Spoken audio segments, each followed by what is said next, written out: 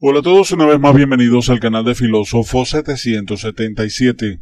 Hay fuertes indicios que indicarían que Estados Unidos estaría próximo para intervenir a Venezuela, o mejor dicho, llevarse por sorpresa a Nicolás Maduro, Diosdado Cabello, Tarek El y a toda la cuerda de narcotraficantes que están regentando la nación.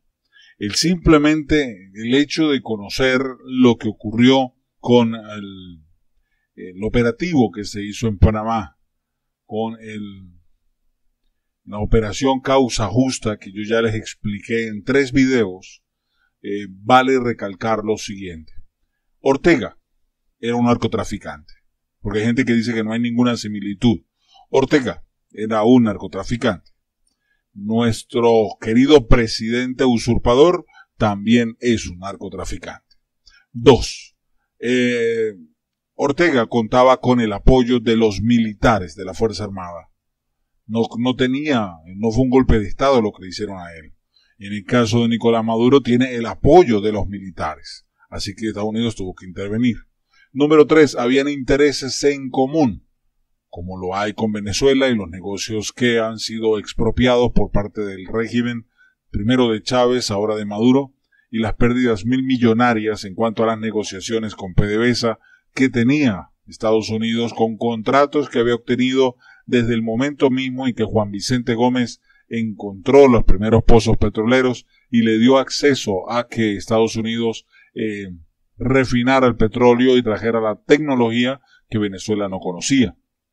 Todo eso lo perdió desde el momento en que llegó Chávez y comenzó a hacer el famoso proceso de que el PDVSA es nuestro y el petróleo es nuestro, y realmente sí fue de ellos, no de los venezolanos, sino de ellos, de los que se lucraron. Ahí está el caso del zar del petróleo, de Rafael Ramírez, de la exmujer de Chávez, de la, de la, mujer de Maduro, de los hijos de Maduro, de Jesse Chacón y de cuánto desgraciado criollo meter las manos en el petróleo de Venezuela se llevaron los reales, así de sencillo. ¿Estados Unidos está interesado en recuperar eso? Claro que sí, a ellos les interesa recuperar eso. Aparte de otra similitud que se puede encontrar es que en ese entonces eh, eh, Noriega tenía bajo su mando un equipo de colectivos, colectivos armados para defender la soberanía de eh, Panamá. Nicolás Maduro cuenta también con sus esbirros, que son los colectivos estúpidos estos que viven aquí en Venezuela y que se venden por una caja de clap. Eh, aparte de eso, tenía Noriega otra característica y era que siempre había, desde que él dejó de servirle a la CIA, empezó a declarar que estaba en guerra contra el imperio norteamericano. Palabras textuales que utiliza también el mismo bobo de Cúcuta, Nicolás Maduro. Otra de las cosas es que pasó por las eh, eh, sanciones económicas y sanciones, económicas que afectaron a Panamá y que afectaron a todos los que favorecían a, a Noriega, pero que no le hicieron caso al final y siguieron como estaban haciendo los archichincles aquí de Nicolás Maduro, que han sido sancionados y no le paran absolutamente nada a las decisiones. Todo esto se llevó bajo el libreto de la intervención, se agotaron todos los recursos diplomáticos y democráticos necesarios para autorizar una intervención. Bien, se creó una consigna de guerra de Ortega, de Noriega, perdón, para ah, amenazar a Estados Unidos con que iba a, a con él y sacó un machete. Hace varios días Nicolás Maduro también sacó un machete haciendo el mismo acto amenazando a los Estados Unidos. En otra ocasión, Nicolásito Maduro, el hijo de Nicolás, dijo que lo iban, le iban a llegar hasta Nueva York y se le iban a meter allá en la Casa Blanca en Nueva York porque el muy ignorante no sabe que la Casa Blanca está en Washington. Pero bueno, en el distrito de Columbia, en Estados Unidos. Pero bueno, el, personaje, si el papá es así, que, que, no se le puede pedir peras al, oso, al olmo. Pero bueno, retomando el tema. Noriega tenía relaciones con grupos enemigos a Estados Unidos, en aquel entonces la KGB, los grupos eh, radicales que trabajaban con Mikhail Gorbachev y con algunos grupos que afectaban la relación de George W. Bush con, ah, con el gobierno, con el, con, el, con el mundo. Ahora, Nicolás Maduro tiene reuniones con terroristas como lo es el ELN, la FARC y algo peor, los grupos islámicos, tanto Hezbollah como el Estado Islámico, entre otros personajes que ya sabemos que son enemigos directos de los Estados Unidos. Solo basta, escuche, solo basta con que en algún momento detengan que en estos días, hoy hubo un loco que, hoy ayer hubo un loco que trató de cometer un atentado en Londres y después el Estado Islámico se atribuyó eso. Solo hace falta que uno de estos locos haga lo mismo en Nueva York o en Estados Unidos ahorita antes de las fechas decembrinas, porque ellos van a, van a manifestarse ahora. porque lo sabemos? Porque ellos les encanta llamar la atención cuando son los días festivos de los cristianos. Y como se celebra la Navidad, entonces, obviamente, por allí deben haber algunos pensamientos para figurar. Vamos a dar un supuesto posible, no vamos a negarlo, vamos a declarar un supuesto posible, de que uno de estos ridículos se le ocurre hacer una especie de atentado en Estados Unidos en alguna parte. Pero cuando investiguen al sujeto, que ya lo den de baja y lo neutralicen, porque eso es lo que va a pasar, y le encuentren un pasaporte venezolano o le encuentren en las investigaciones de que estuvo en un consulado o embajada venezolana, o que antes vino de vacaciones a los Roques y se fue, desde las vacaciones de los Roques se fue directo a hacer lo que iba a hacer en Estados Unidos, usted sabe que bastaría. Solamente eso es suficiente razón para que hoy estemos bien como vamos, hoy estemos como estamos, y mañana amanezcamos intervenidos.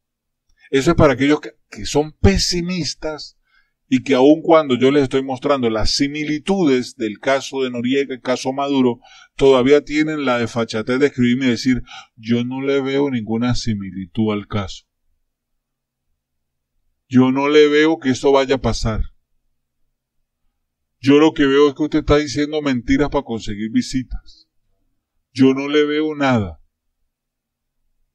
Pero llegan otras personas y otros youtubers y les notifican y les pasan información a, a eso sí, a ojos cerrados. Y este como es más humilde y este como si, ah no, a este sí le tiran piedra. Los otros que están fuera del país y que no están, no están llevando lo que uno lleva, a eso sí les creen, pero uno que está comiendo gas y que está trabajando por ustedes, a uno sí le tiran piedra. Bonito, lindo. Entonces, eso es lo que yo les quiero compartir. ¿Estamos cerca de una intervención militar? Sí. ¿Diciembre es una fecha propicia? Mire, yo lo creo que sí. Ah, no, pero ya va, es que resulta que Elliot Abrams dice que no. a mí me importa un pepino lo que diga Elliot Abrams. Yo no le creo al payaso, yo le creo al dueño del circo. Y el dueño del circo es el que a última hora dice DEFCON 1 en la situación irregular de Venezuela, DEFCON 1. Llama, alza el teléfono y llama al almirante Craig Fowler y le dice, listo, tiene luz verde.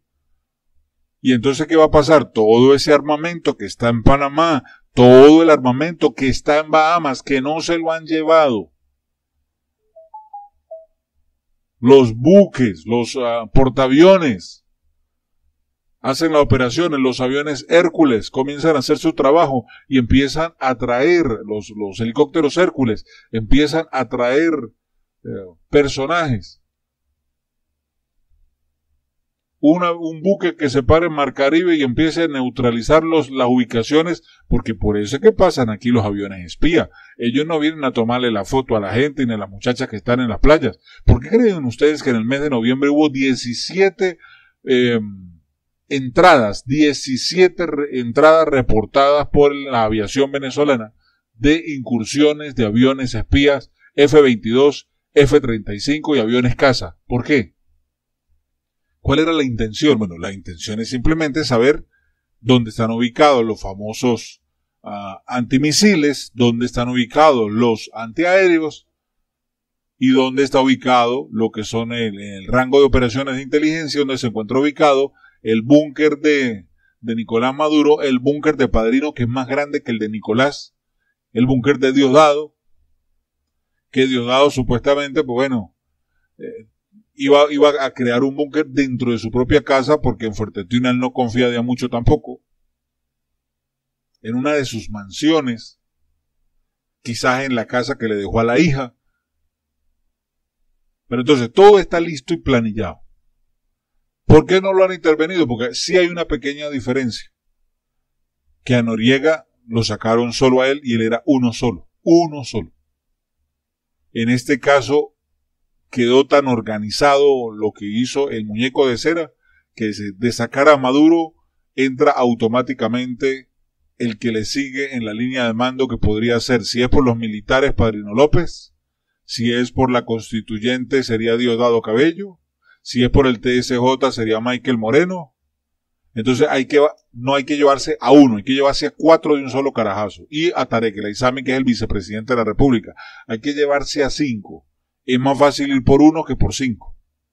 Y para ubicar a los cinco al mismo tiempo es más fácil ir por uno que por cinco. Entonces, esto tiene que ser algo hecho con bisturí, con precisión para poder intervenir. Por eso es que se han demorado tanto. Y lo que yo le dije a ustedes, Estados Unidos está buscando que alguien, que Colombia, que Panamá, que eh, Brasil, Ecuador, Uruguay, cualquier país digan yo lo apoyo con la intervención. Uno solo. Y que le diga nosotros ponemos mil soldados, quinientos soldados, qué sé yo. Un solo presidente que se atreva a decir eso y Donald Trump se lanza para que después no digan fue Donald Trump que vino y mató a la gente, fue Donald Trump que vino, porque vuelvo y repito lo que les expliqué en el último video de Operación Causa Justa. Porque todo el mundo ahorita sí quiere intervención ya, queremos intervención ya, eso es como soplar y hacer botellas. Pero cuando empiecen a caer los misiles, los tomahawks, y empiecen a destruir casas, cerca de Caracas y empiezan a morir gente inocente porque es que el misil no tiene GPS y no dice, no, bueno, a este sí lo mato porque es opositor y a aquel lo dejo vivo porque es chavista o viceversa, este sí o este no. No, no, no, eso no lo hacen los GPS. El GPS, el, el misil cayó y cayó, punto. Ahora, ¿qué pasa entonces en caso de una intervención militar? Bueno, al principio todo el mundo lo aplaude pero al final llega la gente y dice, no, pero ya va, pobrecito, eh, cayeron tantos niños, cayeron tantos jóvenes, una ama de casa, un bedel, un señor que iba a trabajar, un pobre señor que fue a comprarle leche al niño que estaba pasando hambre. Entonces, el culpable es Estados Unidos porque no debieron haber hecho, ah, pero hace cinco minutos esos mismos estaban gritando y vociferando que dónde estaba metido Donald Trump que no intervenía en Venezuela. Así, así mucha gente. Si no lo crees, véalo en el canal. ¿Cuánta gente hoy no me escribe? Fantástico, filósofo, muy buena la información. Y al día siguiente, mira, tú eres un desgraciado, mira esto, mira aquello, tal. Cuando usted dijo que Maduro iba a salir y no ha salido, ¿y dónde está? Y usted lo que hace es del ejército cubano, usted trabaja para el ejército cubano, usted esto. Entonces, ahí está. La gente parece sufrir de bipolaridad. Entonces, hay intenciones de Estados Unidos de liberar a Venezuela? Sí. Y como les digo, eso es su consigna. No llegará noviembre del 2020 sin que Donald Trump haya intervenido en Venezuela. Ahora, ¿puede pasar este diciembre? Esa es mi fe. De verdad que esa es mi fe. Bien, hasta ahí les dejo la información. A los que van a seguir siendo mis detractores, gracias de antemano, porque yo sé que van a seguir con sus dudas, no importa, yo se las recibo. A Cristo vino y no le creyeron. Pues bueno, hágale, sigan, sigan dudando. Santo Tomáses, que van bien, van bien, no se preocupen. Un abrazo, mil bendiciones para los que sí creen.